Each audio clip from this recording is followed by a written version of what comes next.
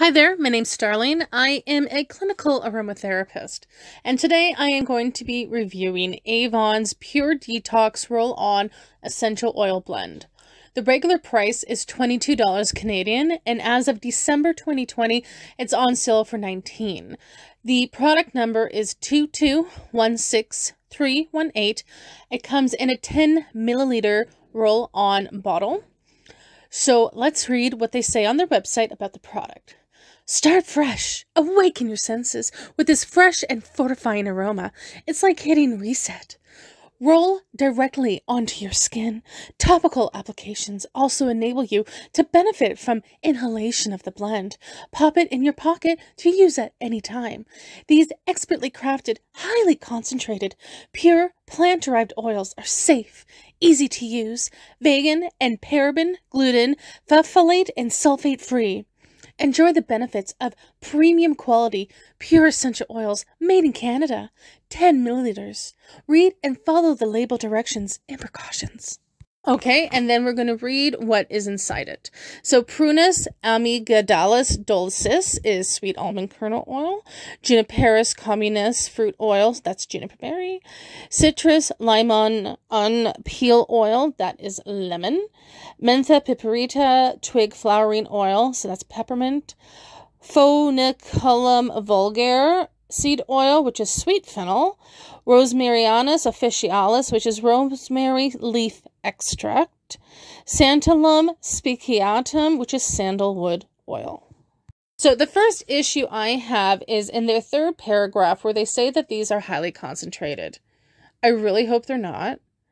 Um, and they're not because they are diluted with sweet almond oil, but this is sort of a false advertising buzzword kind of washing saying things that you think that people want to hear when they're buying something. And a lot of people are um, uneducated when it comes to the reality of essential oils.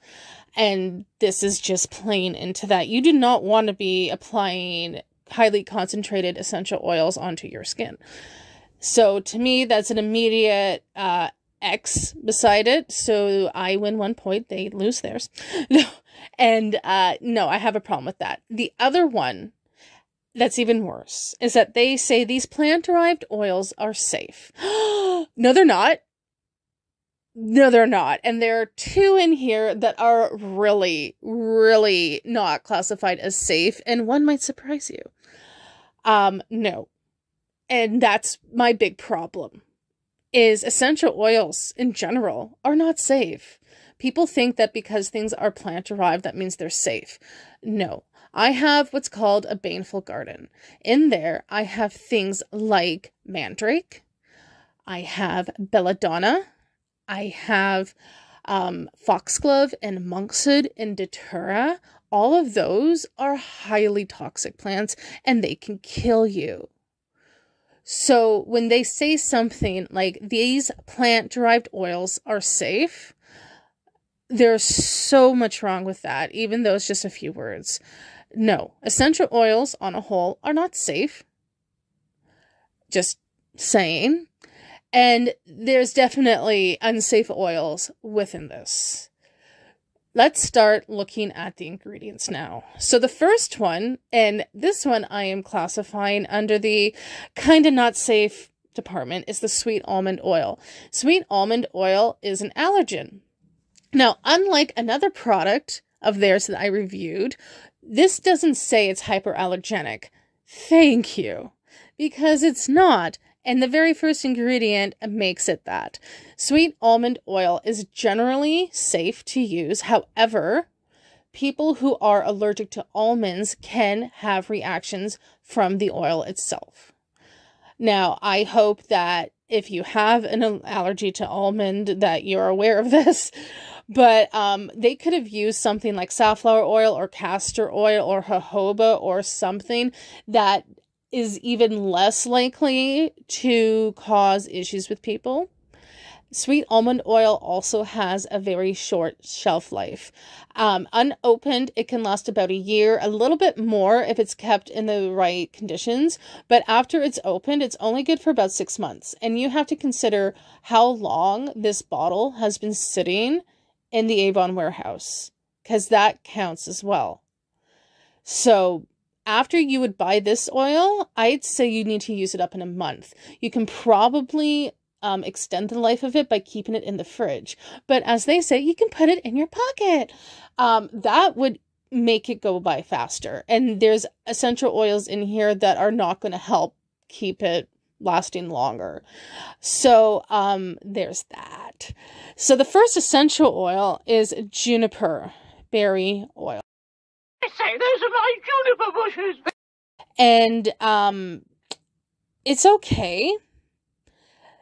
The recommended amount for skin application for juniper oil is 0.05%. You can go up to 0.8% if it's a perfume, but this does not qualify as a perfume because this is something that you're leaving directly on your skin. So this is more in line with a lotion, something that is being directly applied and being left on. And this is the first essential oil that they have in their lineup. And it should not be at more than 0.05%. So personally, I really, really hope that the person who wrote up the label misplaced this. And after looking at the other labels that Avon has on their website for their essential oil um, concoctions, I wouldn't be surprised if that's what happened because it's pretty bad. There's some uh, oils and blends on here where you click on ingredients and it just says like lavender not even English lavender or French lavender, let alone the botanical name, just lavender. So I wouldn't be surprised if this is actually not the actual first ingredient. And I would really hope that it's not because you can't get a lot of it. and that would mean that all the other essential oils are even less than 0.05%, which again would also contradict their highly concentrated statement. So, meh. The issues with juniper is that it is um, sometimes been found to be adulterated with fermented fruit, juniper wood oil, turpentine oil, terarine hydrocarbon fractions. It also oxidizes really easily.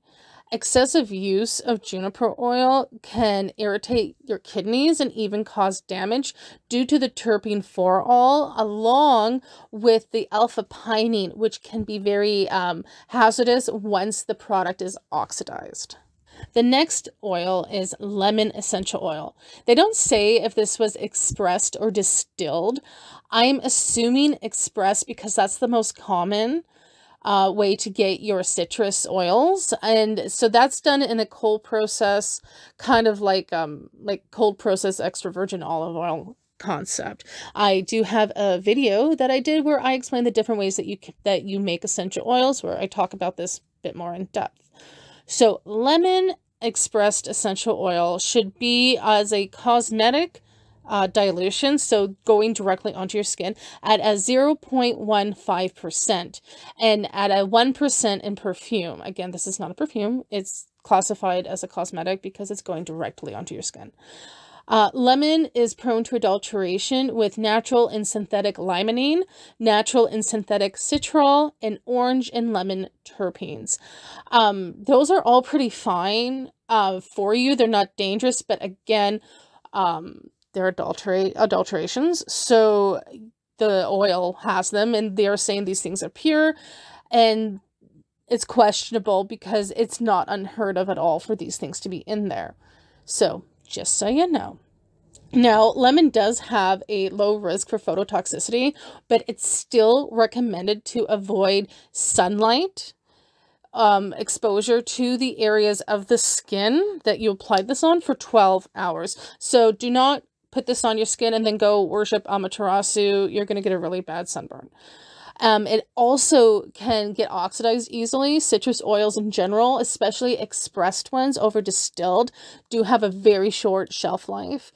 And um, they can become skin sensitizing once they're oxidized.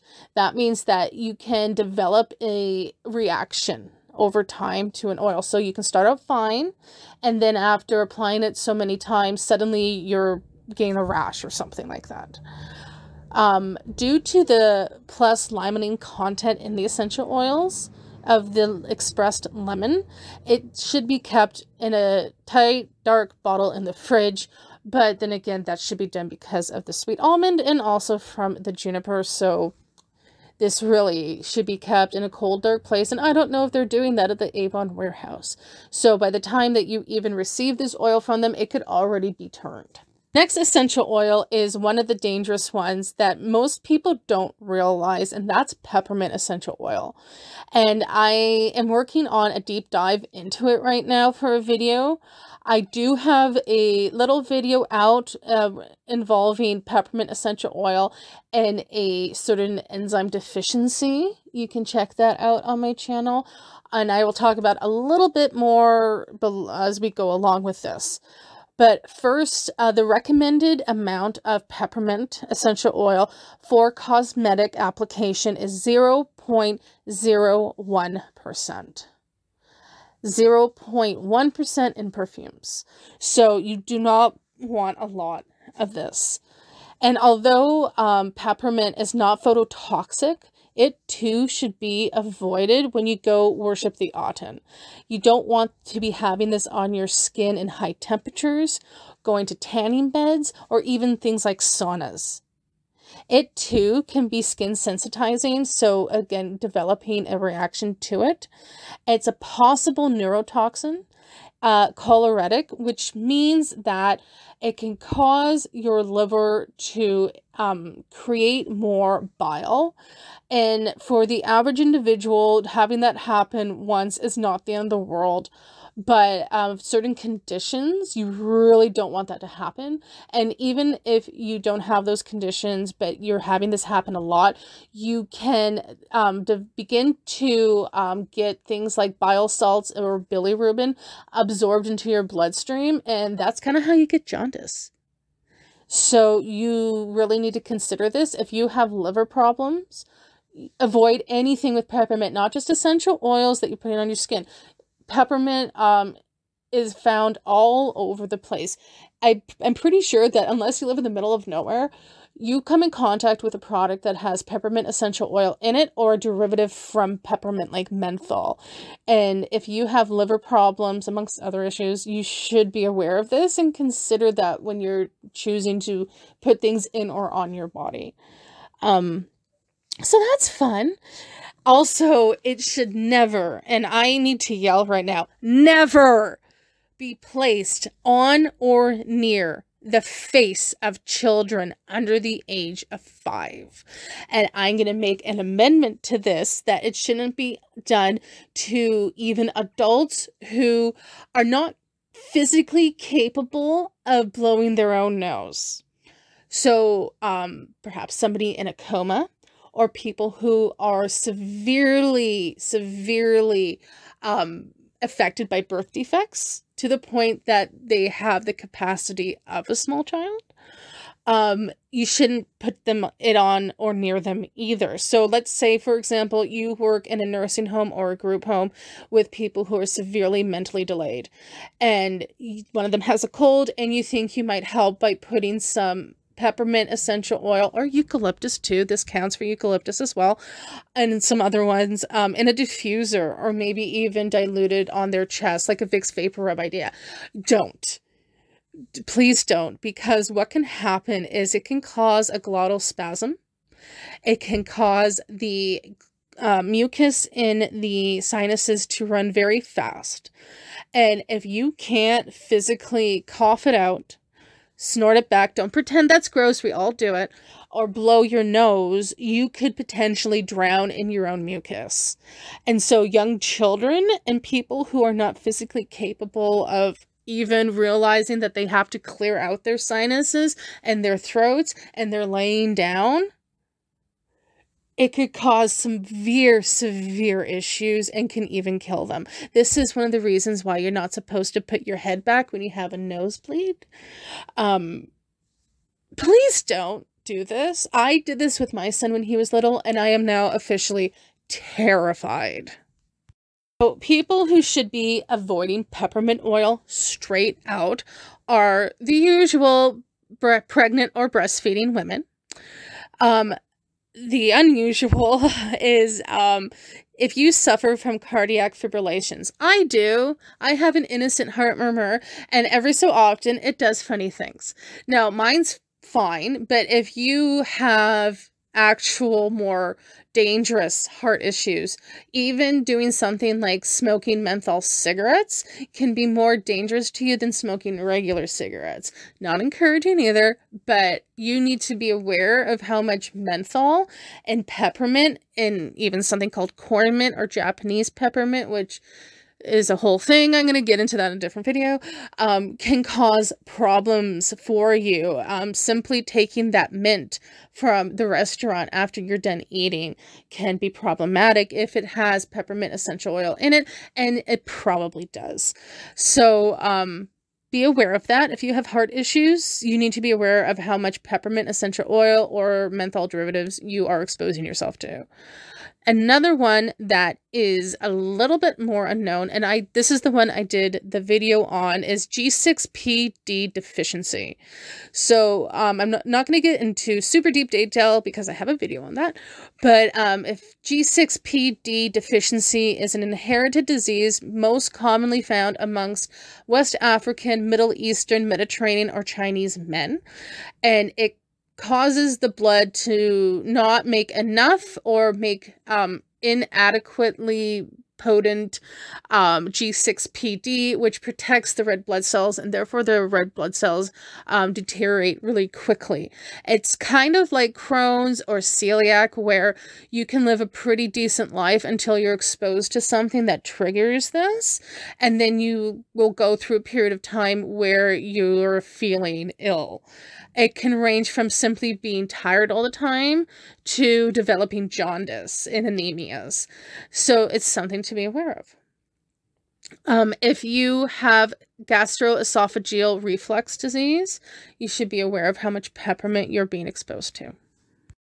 So the second essential oil that is super duper dangerous is the sweet fennel, and I don't know why Avon has a thing for it because it's also found in three other products. They're De-Stress and they're Zen, along with this one. And I don't know why. I think somebody at head office really likes the smell of it or something. And I get it. I love ho wood. It's not the safest oil in the world, but I really, really like it. Smells like rosewood, price like cedarwood. I love that. But it's not the safest. And sweet fennel is ridiculously unsafe, especially for a generic product that you're saying is plant derived uh, oils are safe. No, no, no, no, no. I the sweet fennel is the type of essential oil that you should only be using in, in a form of like prescribed matter from a person who actually knows what the hell they're talking about because it has problems. And we're going to talk about that. So, um, the first issue with fennel is it kind of has a reputation for being used by women and women's issues. So, we're going to start talking about, you know, periods and stuff. Um, so the first problem with it is that it can cause a reproductive hormone modulation, which translates to it can affect your reproductive organs and hormones and stuff. So things like slowing down uterine contractions, which is fine if you're having really bad cramps, but shouldn't be used in labor. And for some reason, people use sweet fennel in labor. You're just slowing things down. Don't do it. Um, that's a thing. I've never heard of that one before. I, I became a clinical aromatherapist. I'm like, why would you be using those? Anyways, um, it can cause um, breast formation in prepubescent girls, which is really not good. And the scariest part about this is that it can encourage the growth of estrogen related tumors, which means that it can make your breast cancer tumor grow larger. This is a product that is being sold by a company that claims to be a company for women and has a cancer foundation. And they're selling this and they're saying it's safe. No, it's not. It also is possibly a carcinogenic, which means it could potentially create cancers. and it can inhibit blood clotting and does the old skin sensitization. So again, you can begin to react neg- negatively by, from this product on your skin. It should be avoided by pregnant and nursing women, of course. Um, if you have endometriosis, if you have again estrogen dependent cancers but also for example if you get breast cysts and other things this can aggravate it children under the age of 5 those who are on diabetic or anticoagulant medications if you've had uh, major surgery recently, peptic ulcers, have or carry the gene for hemophilia and other bleeding disorders, along with, and again, this is something that really makes me mad because they say that these oils are safe, is if you have epilepsy, you should not be using sweet fennel oil. The maximum dermal recommendation is 0.01%. And due to the E-anethole content, it also oxidizes easily. So again, we keep shortening the lifespan of this product. So there's that. So the rosemary in this product is not an essential oil, it's an extract, which is different.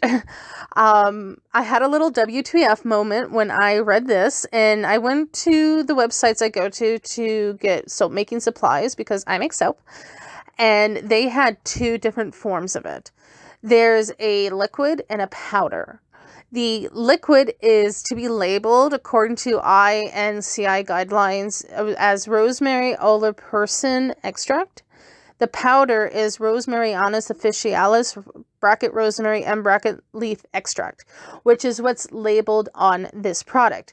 But I have an issue with this because this is a roller product. Why would you be using a powder in here? So, personally, I think that it's a mislabel. Um, Avon does this a lot on their websites, especially in their aromatherapy section, where things are just not correctly labeled.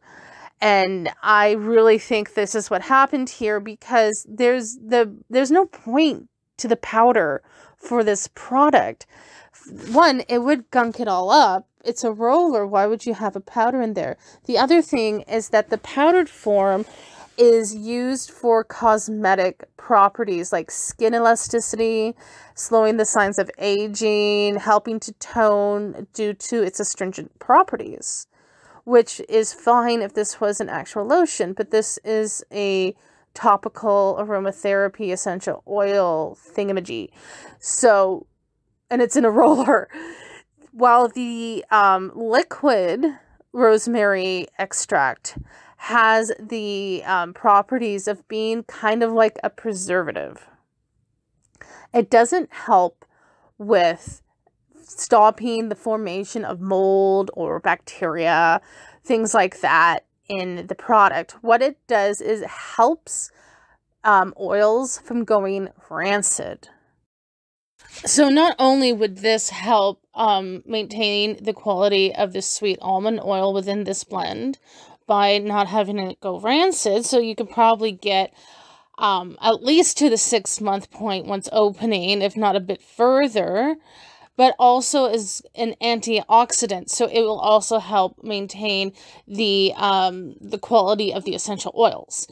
So uh, this is what that is. It's totally fine. It's natural. It's safe. I haven't found any information saying otherwise on it. Um, so yeah, that's what that is. So the sandalwood that they're using in this essential oil blend is not East Indian sandalwood. It's something called Western Australian sandalwood. It doesn't quite have the same controversy as East Indian or rosewood does, but it still has its issues. It did go to be over harvested in the 1800s, cutting back much of its population. There is a little marsupial called a woylie. I think I'm pronouncing that right, although I'm probably not. And it really, I mean, really likes to eat the seeds of Australian Western sandalwood.